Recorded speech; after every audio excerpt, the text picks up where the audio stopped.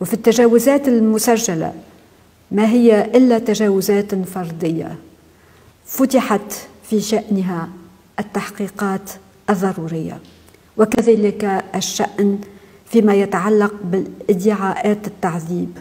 فالتعذيب ليس سياسة دولة وإنما يظل حالات معزولة. وقد فتحت تونس أبوابها للجنة الفرعية لوقاية من التعذيب التي زارت بلادنا في شهر مارس الماضي وكانت لها حرية النفاذ إلى جميع الأماكن التي طلبت زيارتها دون قيد أو شرط.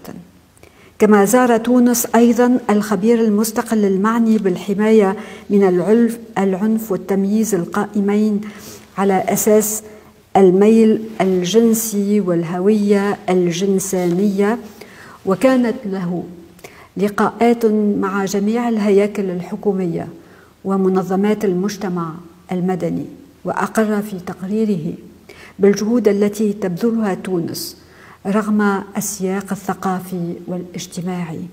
وستكون للوفد التونسي لاحقا إجابات حول كل كل ما يتعلق بهذه المسائل ذات الصلة بالفصل 230 من قانون المجلة الجزائية.